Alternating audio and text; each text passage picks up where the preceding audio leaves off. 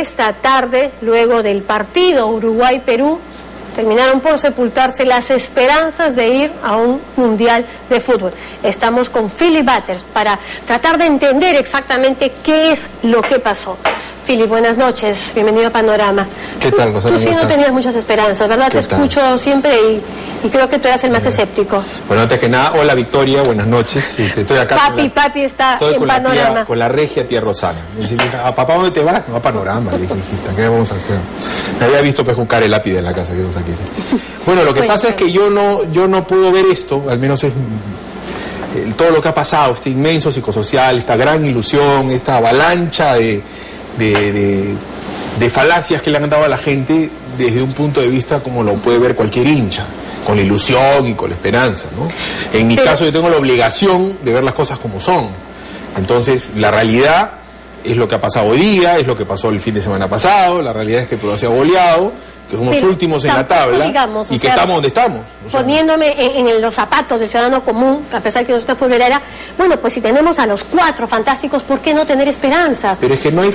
número uno... Claro, que después hemos visto que terminan todos lesionados de pronto, pero ¿por qué no tener esperanzas? A ver, pues a ver lo, que ha pasado, número uno, es que había un inmenso psicosocial. Se le ha atarantado a la gente, al ciudadano de a pie. Se le ha bombardeado con una cantidad de publicidad inédita desde la época que Vargas Llosa fue candidato a la presidencia. Nunca he visto algo tan grosero y tan burdo, ¿no es cierto? Entonces Marcarían se ha subido al coche y la ilusión y le ha vendido un humo a la gente. No hay cuatro fantásticos, pues porque si, a ver, si fueran los cuatro fantásticos, los peruanos... no son fantásticos cuando les toca No, es que no son ni fantásticos ni acá ni allá, o sea, ni en ningún lugar. Porque si estos son fantásticos, ¿qué cosa es Forlán, Cavani y el otro? Extraterrestres. ¿Y qué cosas son los demás? O sea, Perú ha sido último y penúltimo en las últimas eliminatorias y hoy está otra vez último. Y está donde está porque desgraciadamente en el Perú las bases del fútbol peruano son podridas. Es un fútbol que está podrido, tremendamente corrupto, ineficiente, jugadores que se zurran en el técnico, los jugadores se burlan de Marcarián, es un fantoche que lo tienen ahí en la videna para hablar, ¿no es cierto? que le dan su mensaje y él repite como un lorito, pero a la hora de la hora uno ve las cosas como son y te das cuenta que estamos con jugadores improvisados, con equipos improvisados, este, eh, arañando eh, resultados que son vergonzosos. La, sensación que yo tenía cuando pasara era que sí tenían ganas, por lo menos en el segundo tiempo, que fue que me yo sí sentía que había pues ganas, pasión, camiseta en ese momento. Pero claro, lo que mandan son los goles. Incluso cuando Peri tapa este penal, decía, caramba, estamos bien. A ver, lo que pasa, lo que pasa es que hay gente, hay, la cosa, la cosa es que te han vendido el humo, a ti como a los demás. ganas tienen todo. ¿Tú crees que los bolivianos no tienen ganas? Ganas es lo mínimo que uno puede tener. Pero, pero, también tienes que dejar pues en la cancha ¿eh? esa pasión, sentirla, porque a veces sientes que son cumplidores. Bueno, la realidad, ¿no es cierto?, es que hoy día salimos con un equipo improvisado que Marcarían se ha dedicado durante meses a convocar jugadores lesionados, que ya venían lesionados, que jugadores que no han venido lesionados como Jefferson Farfán y Pizarro se zurran en la escasísima autoridad que tiene Marcarían, que hacen lo que se les da la gana, como el común de los otros jugadores de la selección. Va a ser que en los próximos días van a salir fotos, videos, escándalos, trascendidos, como siempre ha pasado. Somos el equipo de Sudamérica que no concentra, en donde este señor habla, este humo, ¿no es cierto? Los jugadores hacen lo que se le da la gana. Entonces, si hemos llegado donde hemos llegado estos dos partidos sin jugadores, es porque él no ha sido capaz de hacer un equipo. Él dice, Perú no puede hacer un equipo. él es el entrenador, él no es un espectador. pero en el tiempo que él tenía podía armar un equipo, dejemos a los fantásticos a un lado, pero los jugadores con los que en un país en el que no hay semilleros, en, el que la mayoría de los clubes privados están incluso en quiebra, en crisis, ¿De dónde sacas entonces a, los cuadros? A ver, Rosana, cuando tú viniste a, Panamericana te dijeron que la cosa estaba complicada en este canal y tú tomaste el reto de tomar este, este programa. Tú no le vas a ir a llorar a, Anchorena que te va mal porque no tienes rating, te vas a, a tu casa, pues. Y lo mismo Villagiro, lo mismo todo el mundo de Panamericana. Entonces, este es un floro, ¿no es cierto? Marcarían sabía lo que tenía, sabía lo que pasaba, él pasa por el aro de Pizarro cuando va y le pide compromiso a los jugadores en Europa, los jugadores se zurran en él, los jugadores no vienen a entrenar con la selección, los jugadores exigen partidos de mentira para cuando ellos quieran venir y no vinieron, y nosotros hemos jugado contra Jamaica, contra Canadá, contra Senegal B, contra Costa Rica C, contra México C, contra Nigeria C. Entonces, él ha formado mal el grupo, las normas la han puesto los jugadores, los partidos que hemos tenido han sido de mentirita, y ya vamos por la segunda goleada eliminatoria. Primero nos goleó Chile, ahora nos han goleado hoy día otra vez. Si vamos a seguir con el mismo floro de Marcarián, ¿no es cierto? Mintiéndole a la gente. Y el periodismo, lamiéndole las suelas, porque lo del periodismo ha sido vergonzoso con Marcarián, ¿no es cierto? Vamos a seguir en la misma, porque va a ir Venezuela que es un país chiquitito también, va a venir con orden, nos va a empatar o nos va a ganar, después una Argentina nos mata y vamos a seguir con las matemáticas y con la ilusión. Una cosa completamente hipotética, ilusión. Si te convirtieras en el asesor de marca, ¿por dónde empezar? No, no. Ya yo que no. ¿Por dónde empezar? O sea, ¿por dónde empezar a mejorar el Lo fútbol que mal anda, mal acaba. O sea, a Marcaría no lo han contratado para mejorar el fútbol peruano. No, para que ese es otro de los humos que ha vendido él, ¿no es cierto?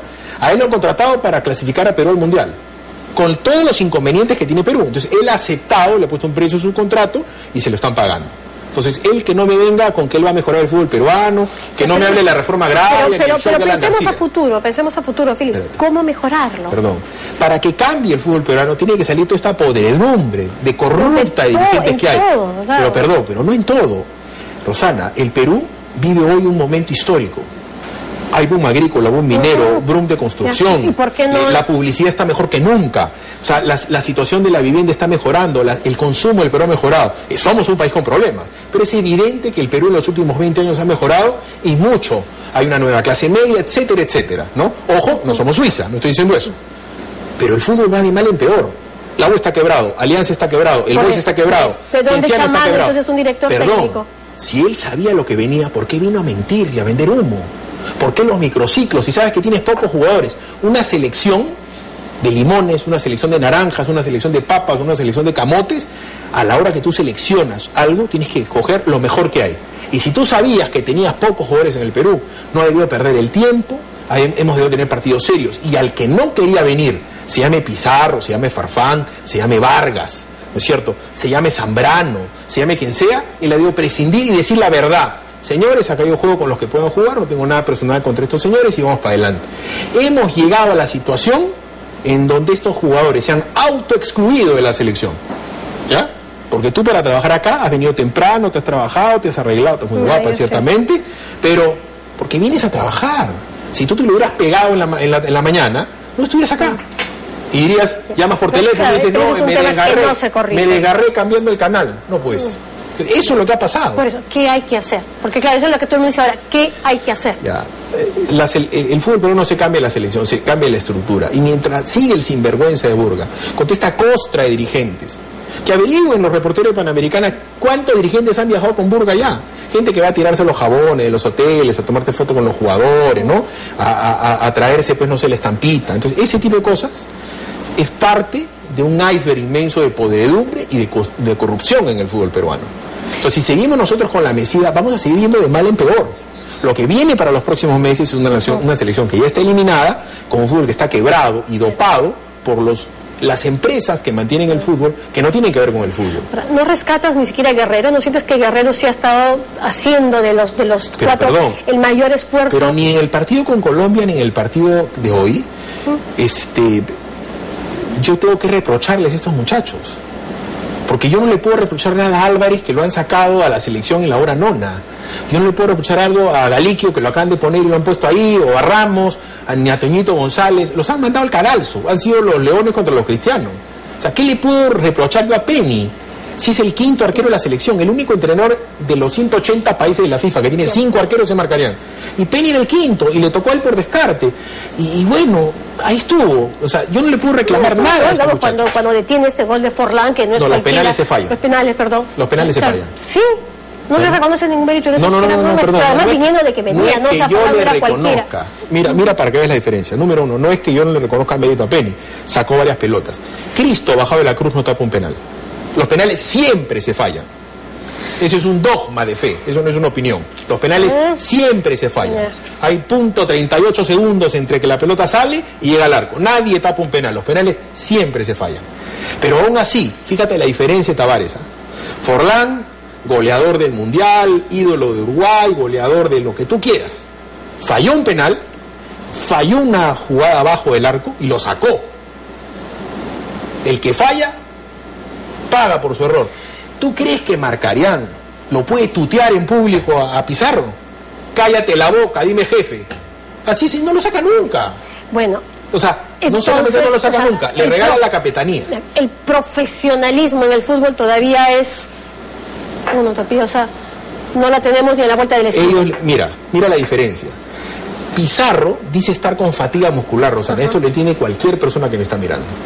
El último partido de competencia que jugó Pizarro fue el día 4 de mayo. ¿Ya? Sí. Jugó contra el, el sí. Schalke 04. Después jugó dos, en tres semanas después, una pichanguita 51 minutos contra un equipo Eintracht de Copenhagen, que era un, es un equipo alemán de tercera división. Y ahí jugó contra Nigeria acá en el Perú 50 minutos. Después se largó a firmar su contrato, como ya había dicho, con Uribe y con Franco Navarro. Y tiene fatiga muscular, ¿no? Messi tiene fatiga muscular, ¿no? Messi ha jugado mucho más partidos que este señor. ¿No es cierto? También cruza el charco para jugar con Argentina. Ha llegado a Buenos Aires, para que la gente sepa, la concentración de seis en Argentina está camino a Buenos Aires. No ha llegado a su ciudad, ¿no es cierto? Se ha metido a concentrar, ha jugado su partido, ha metido tres goles contra Colombia, ha sido la figura contra Colombia, después se ha subido un avión ha ido a Nueva York a jugar un amistoso. Y Messi tiene una novia que está esperando un hijo. ¿Tú crees que Messi no, No, tiene no amigos? No. Perdón, eso Sí, es no, entiendo, compromiso. entiendo mientras que que acá, va el asunto, mientras que pues, acá lamentablemente. se surran en marcar. ¿Tú qué cosa crees que Radamel Falcao no quería irse a comerse su bandeja paisa con sus amigos como Jefferson Farfán a intoxicarse? O sea, por Bueno, Dios. digamos, con esa, con esa descripción, el panorama sigue todavía mucho más pesimista, negro. Este y, eso, y eso, y eso. El panorama que tengo yo es muy bonito, porque tu serie Ah, está muy bonito. El panorama de la selección es horroroso. Horroroso. Pero ahora, con todo cariño invoco a la gente. Comiencen a decir la verdad. Dejen de mentirle a la gente. No estafen a la gente, no bombardeen con publicidad a la gente, vendiendo una ilusión, porque hay chicos, hay niños, ¿no es cierto?, que sí se comen el cuento. Entonces basta con el psicosocial, vendamos verdad. Somos un equipo chico que hay que luchar como, como Venezuela, que está tratando de salir de abajo, que hace partidos algo más dignos, que juegan como, equipo chico. Y al jugador que no quiere venir y no respeta a Burga, que no tiene por qué respetarlo, o a Marcarián, que no lo convoquen, lesionado o sano. Pero basta Bien, de mentiras, dejen de estafar a la gente. Basta de estafa, mi querido estafarián. Bueno, ese fue Philip Butters, polémico, como siempre, diciendo las cosas claras, Perdón, honestamente. polémicos son los otros, ¿no es cierto? Bueno, pero no está mal este, ese polémico. No, no, no, no, no, Pero en todo pero, caso, lo que yo sí reconozco es que tú siempre dices lo que piensas. Y eso es importantísimo. Es facilito, este, Rosana, está en la web del Libro, la web de la República, lo que no está escrito no existe, dicen, ¿no? Ahí está. Hace meses yo le dije, primero fue Burgarián y ahora es Estafarián. El que quiera seguir siendo estafado, bueno, que vaya a la Videna y que compre sus letras de clave. Philip, muchas gracias por haber estado con nosotros A esta ti. noche. Está comprobado, Victoria, que venía a ver a la Rosana. Nosotros hacemos una breve pausa y al regresar, el novio desconocido de Elizabeth Vázquez, antes de ser asesinada, estaba a punto de casarse. Regresamos. Alejandro Espino Méndez ha hablado. Nunca nos hemos divorciado. Esta noche, en Panorama, en exclusiva, la sentencia definitiva de divorcio en Estados Unidos, así como correos enviados al hombre de quien se había enamorado. Este parecería ser la actual conformación de los hombres del presidente, una especie de triángulo operativo donde casi no existen diferencias en los objetivos ni grandes riñas entre las partes.